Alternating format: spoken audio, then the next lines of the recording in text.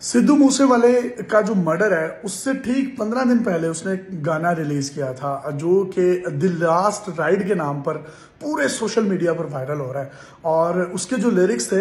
कि चोबर दे चेहरे उत्ते नूर दिसदा, ऐदा उठेगा जमाने च जनाजा मिठी है। जिसका मतलब यह है कि जो जवान है, इसके चेहरे का नूर बता रहा है कि इसका जनाजा जमानी में ही उठेगा। और इसने अपने मर्डर से, यानी आज से ठीक पंद्रह दिन पहले इस गाने को रिलीज़ किया, पंद्रह मई को। चौदह मई को इसकी वालदा की बर्थडे थी और इसने अपनी माँ को हैप्पी बर्थडे माँ जी के नाम से इंस्टाग्राम पर पोस्ट भी लगाई है। ये माँ का इकलौता बेटा था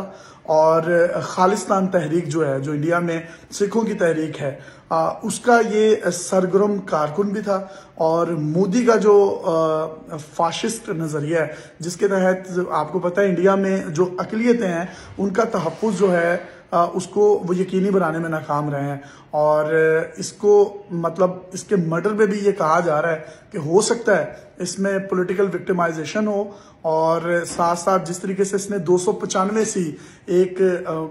तोहन मज़हब की एक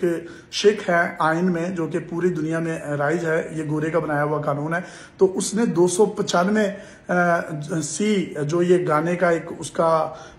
बोल टाइटल भी है। और अगर बहुत से लोग सोशल मीडिया पर ये भी कह रहे हैं कि आज उनतीस मई है, पांचवा महीना है तो वो भी दो सौ पचानवे बनता है। तो बहुत से महरिकात हैं जिसने सोशल मीडिया पर जंगल में आग की तरह इस खबर को फैलाया है और एक लेजेंड मैं मैं कहूंगा कि ये लेजेंड बंदा था जिसने प्रॉमिस भी किया था कि वो पाकिस्तान आएगा इस्लामाबाद आएगा लाहौर आएगा लेकिन वो अपना वादा वफा ना कर सका ਪਾਕਿਸਤਾਨ ਕਦੋਂ ਆਉਣਾ ਬਈ ਲੈ ਜਾਓ ਪਾਕਿਸਤਾਨ ਵਾਲਿਓ ਮੈਨੂੰ ਇਧਰੋਂ ਆ ਕੇ ਮੈਂ ਵੀ ਗੇੜਾ ਮਾਰ ਕੇ ਜਾਣਾ ਮੇਰਾ ਇੱਥੇ ਜੀ ਨਹੀਂ ਲੱਗ ਰਿਹਾ ਹੁਣ ਬਹੁਤ ਟਾਈਮ ਹੋ ਗਿਆ ਇੱਥੇ ਸਟਕ ਹੋਏ ਨੂੰ ਪਰ ਇੰਨਾ ਟਾਈਮ ਮੈਂ ਇੱਕ ਜਗ੍ਹਾ ਤੇ ਰਿਹਾ ਹੀ ਨਹੀਂ ਜਦੋਂ ਮੈਨੂੰ ਲੈ ਜਾਓਗੇ ਪਾਕਿਸਤਾਨ ਦਾ ਮੈਂ ਉਹਦੀ ਚੱਲ ਜੂੰਗਾ ਤੁਹਾਡੇ ਨਾਲ ਕੋਈ ਰੌਲਾ ਨਹੀਂ